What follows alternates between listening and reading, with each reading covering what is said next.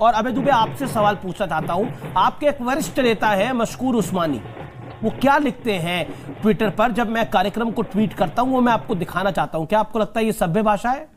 तेरी भी लाल हो जाएगी जल्द। आपने टिकट दिया था बिहार के अंदर इनको। बस कुछ समय और इंतज़ार कर। नहीं देखिए क्या चीज़ लाल करेंगे आप? बहुत अच्छा लगेगा।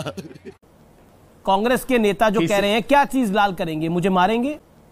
कांग्रेस के नेता जो कह रहे हैं क्या चीज़ लाल करेंगे? मुझे मारेंगे? प्यारी समझ गई। नहीं किसी भी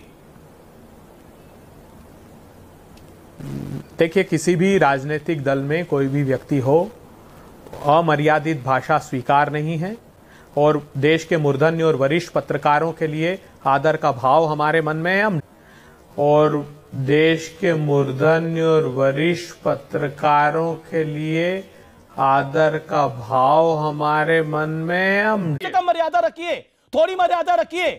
डिबेट में हो सकता है कितनी बहस कर लें मगर प्रतिपक्षी दल के लेकिन लोगों वो तो के मेरी बहस में भी नहीं थे। मैंने तो का कार्यक्रम के बारे में ट्वीट करा उन्होंने ट्वीट करा तेरी भी लाल हो जाएगी जल्द। बस कच कुछ समय का और इंतज़ार कर।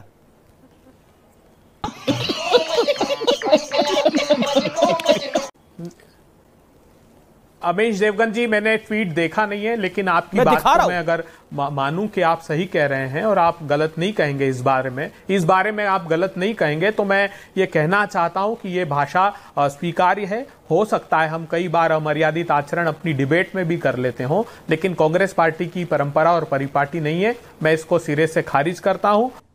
अब बताइए मैं क्या करूँगा? तेरा काम हो गया तुझे। थोड़ी मर्यादा रखिए।